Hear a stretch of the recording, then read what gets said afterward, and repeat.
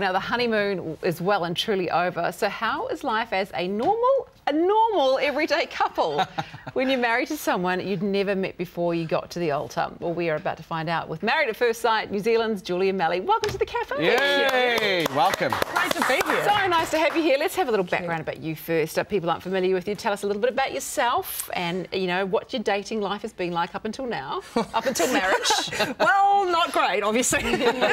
um, yeah, I, about me. Well, I'm 32, live in Christchurch, uh, work for Stuff, and um, just went on the show because I wanted to find love like anyone else. It's, yeah. How did your last relationship end, if you don't mind me asking? Honestly, I've had two great long term relationships, and they just, it was a bit about timing.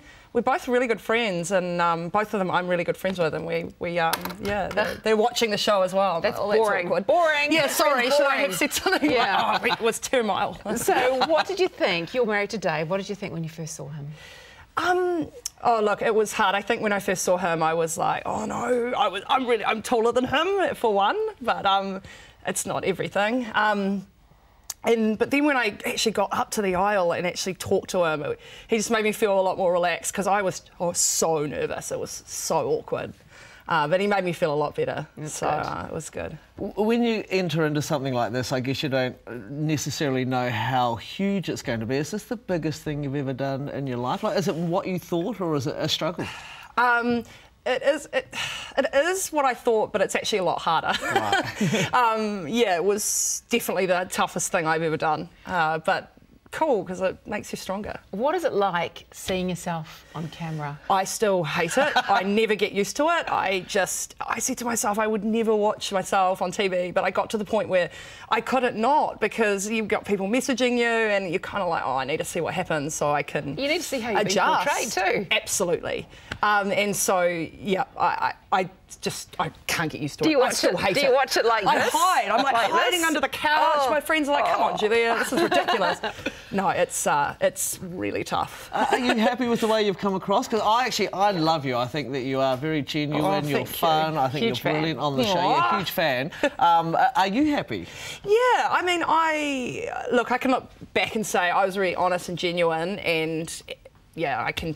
That- That's the most important part, really. The thing about relationships is obviously there's a lot of it that it's good to have this great friendship base, but also the attraction thing has to come into it as well. Really important.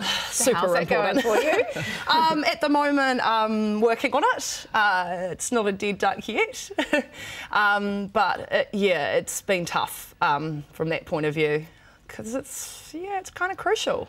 Yeah. Uh, we get along so well. He's a great guy. Um, it just Well, that's missing great that for your slight mate. spark. Yeah. Yeah. Well, uh, at the the- moment, but I'm not giving up. Okay, this may seem really harsh, but is there something physically that you would change about Dave to make that attraction happen? Honestly, it doesn't really come down to physical looks, and I've been so asked it's, this emo- before. so it's emotional then. And yeah, it but you really seem to have that It's emotional connection. So we do, yes, but I don't know. It's this missing thing that uh, at the moment that I can't really put my finger on. The chemistry, so much. maybe. Yeah, that Well, sometimes it just is. That chemistry thing is It's just really hard to explain. amazing Okay, no, no, thing. fair enough. Really is. But I, it was a bit rough the other day, though, Julia, when I was watching, giving Dave a hard time Oh, about his masculinity Oh. on national TV.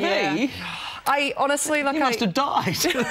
No, and, honestly, if I thought that he um, had a problem with it, I would never ever disrespect him like that. Right. He is very, he owns that side of him. He's and I love it. And what you guys don't see is that actually I do say that. I, I'm like, hey, I think it's a great thing, it's a positive thing, but of course, beauty of editing. Um, it, cuts off there, just me saying, oh, I think he's metrosexual. Well, are we not seeing everything that's actually happening? Yeah. No. you guys know, you're not silly. So tell us a little bit about your relationship with Sam because you guys hang out as a foursome lot too. And um, Yep. the experts say that this can happen when people are not convinced about their relationships, or you also hang out with them solo as well. Yeah. Um, oh, look, I disagree with them in that sense, and I did tell them that. uh, because I really, in, in a situation like this, it's the hardest thing. You want to have someone you can lean on, and it's all good and great ringing up your mum or your, or your friends, but they don't know. They're not in the situation. So for me, Sam was, Sam and Taylor were an outlet for me to just go and vent um, away. So I honestly don't think it's a bad thing. And Dave did the same thing. And- And I guess when you're under that immense pressure, you do need an outlet, don't you? So I You have no idea. is, is there anything you would do differently? I know, you know, we still don't know what the outcome is, but Yeah. looking back for you, would you do anything differently? Never reply. Hey, you've got to say yes to things in life, though, don't you? No, I don't know. That's a tough question. I don't know if I would do anything differently. Um, I don't think, looking back on the episode, I don't think I realised how upset Dave was with how much I spent time with Sam. And, and I think if I'd known that, I probably would have taken Changed it back it, a little That's bit. problem and, too, and isn't but, it? Yeah. You're watching the other side of things when you're watching the show back, and, And- you're seeing that side of things that you, in a normal relationship you don't see. And we had a different perspective on that. He was sort of like, oh, look, we've only got this time of filming. We need to get everything in. But I said, hey, look, you know, we, let's see what happens. It doesn't have to, we don't have to put a timeline on it just because the camera's around. Well, no, and look, keep being you, because what I love about you is that you go to say something and then you're you're so caring about how it affects everybody else, and then you struggle with that. I really but do. That's you being It's my biggest, um, yeah, no, I get it. Yeah, I get it. I've- It's tough. thank you. Yeah, I appreciate you for pointing that out because it really, yeah, it's been tough. Hey, well, good luck. Thank you. good luck. Just hold out your hand for a minute. Oh, she is still wearing it. Just Oh. checking. Married at First. Sight, New Zealand screens Sundays at 7 as well Oh, as I love it. Mondays and Tuesdays at 7.30 on 3. And you can check out 3 now to catch up on any episodes that you might have missed. yeah, great seeing you, Julia. Thank you. It's fascinating TV. Don't miss it.